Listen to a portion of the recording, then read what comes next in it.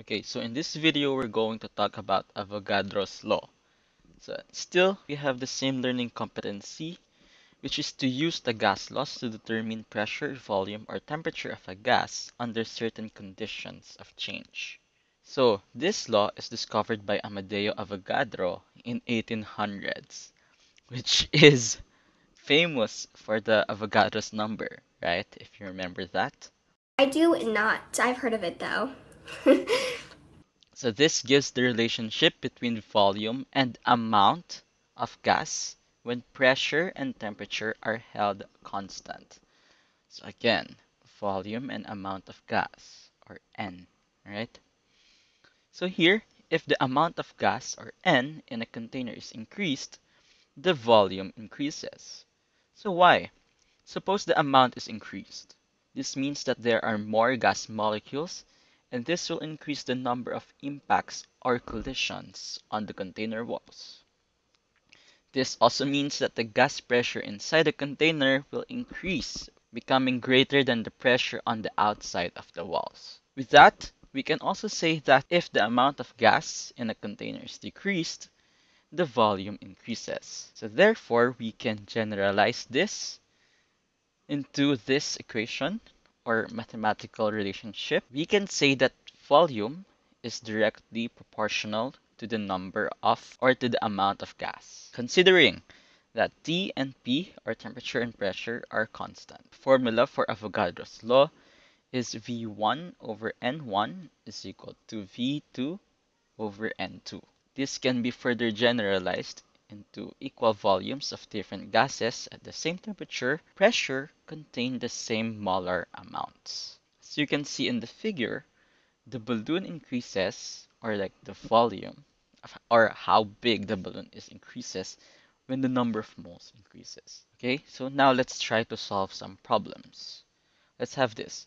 5 liters of a gas is known to contain 0.965 moles. If the amount of gas is increased to 1.80 moles, what new volume will result at an unchanged temperature and pressure? So with that, you already know that we're looking for V2. Yes! yes! So let's write the given.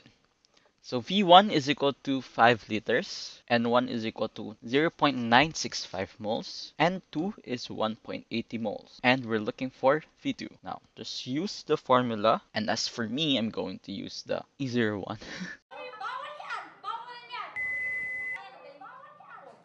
so by cross multiplying it, I'll have V1 and 2 is equal to V2 and 1. So manipulating the formula, V2 is equal to V1 and 2 over n1. So now substitute the values.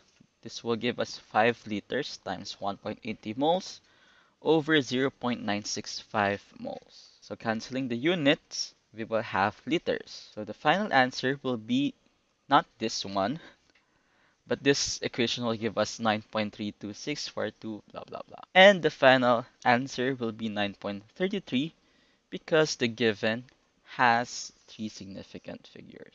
Okay, so let's have a more challenging problem. Let's have this. A cylinder with a movable piston contains 2 grams of helium at a room temperature. More helium was added to the cylinder and the volume was adjusted so that the gas pressure remained the same. How many grams of helium were added to the cylinder if the volume was changed from 2 liters to 2.5 liters, considering that the temperature was held constant. And so we're not going to have that. Remember, we have this formula V1 over N1 is equal to V2 N2 and cross multiplying it.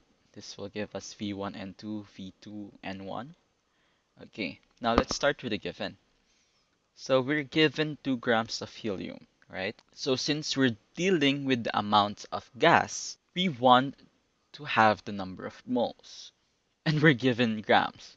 So what we need to do is to convert this into moles. Okay, so 2 grams of helium by using dimensional analysis will have the molar mass of helium which is 4.00 grams and moles in the numerator. This will give us 0.5 moles of helium right? That will be our N1. And we have the given V1, 2.0 liters. V2 is 2.5 liters. Okay, so it's from here, right? 2.0 to 2.5 liters. And we're looking for N2. So solving for N2, our formula will be V2 times N1 over V1, right? So substitute or put the given to the formula. This will give us 2.5 times 0.5 mole over 2.0 liters. Canceling the units, this will give us moles. And the final answer will be 0.625 mole. But is it the final answer? Okay, no. Because this is the ending amount of moles and not the moles of gas added. Cancel! Electric chair! Bye! right? So, how do we get the moles of gas added? So, you have to subtract 0.5 moles. Okay, why? Because it's the initial amount of gas. So, this will give us 0.125 moles of helium. And we're looking for the grams of helium. So, again, we're going to use the dimensional analysis and the molar mass. If you don't know how to get the molar mass, we have another video for that. So, please check that out. So using the molar mass, the periodic table, we'll know that the molar mass of helium is 4.00 grams per mole. Canceling the moles, we'll have the grams 0.5 grams of helium. Okay, so that's the final answer. Ito po si Judy Ann Santos Agoncillo. Hanggang sa susunod, isang mahigpit